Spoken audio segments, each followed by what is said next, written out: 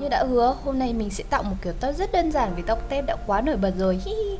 Với những mẫu tóc đã qua hóa chất nhiều, trước khi tạo kiểu với nhiệt, chắc chắn bạn phải dùng một sản phẩm bảo vệ tóc để tránh bay màu cũng như là giảm hư tổn cho tóc. Sản phẩm mà mình dùng ngày hôm nay là Heat Styling Protection của Moroccan Oil.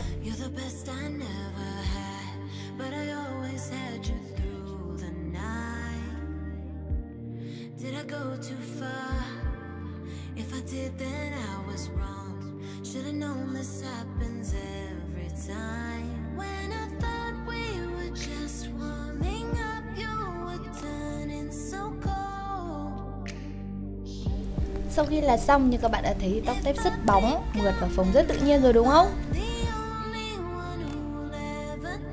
Và đừng quên bảo vệ tóc ở bước cuối cùng với một loại dầu dưỡng phù hợp. Ở đây mình dùng Moroccan Oil Treatment dành cho tóc mỏng hoặc là nhuộm màu sáng. Loại này thì đặc biệt hơn loại thường vì chứa rất nhiều dầu argan giúp chống lão hóa, không khiến tóc bị phai vàng khó coi. Với công thức siêu nhẹ, độc đáo nên tóc luôn mềm mượt, bóng khỏe mà không hề gây bết chút nào.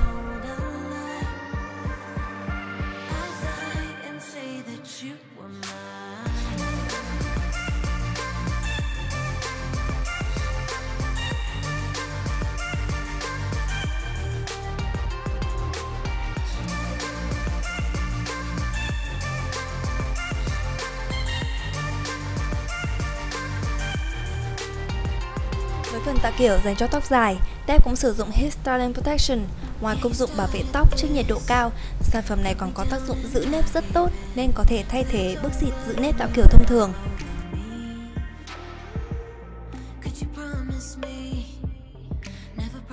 Sau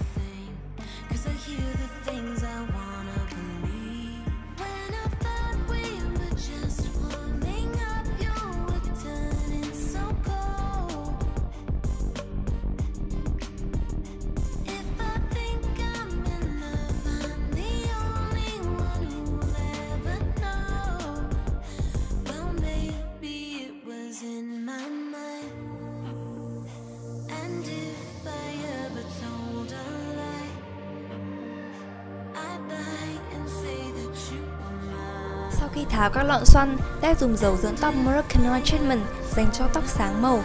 Tóc rất tơi, mềm, bồng bềnh nhưng vẫn giữ được những lọn xoăn vô cùng quyến rũ và mềm mại.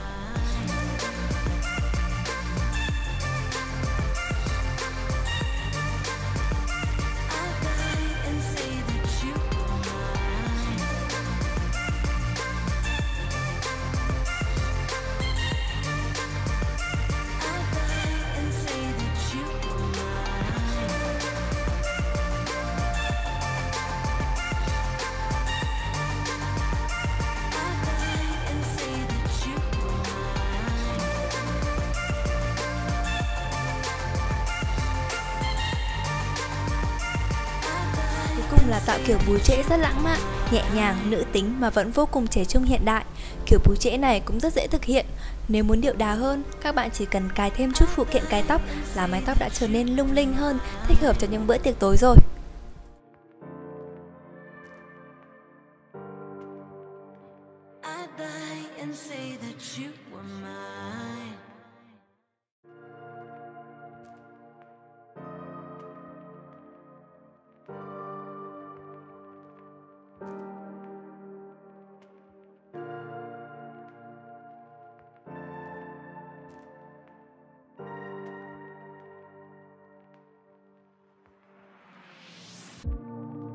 Drives me mad. You're the best I never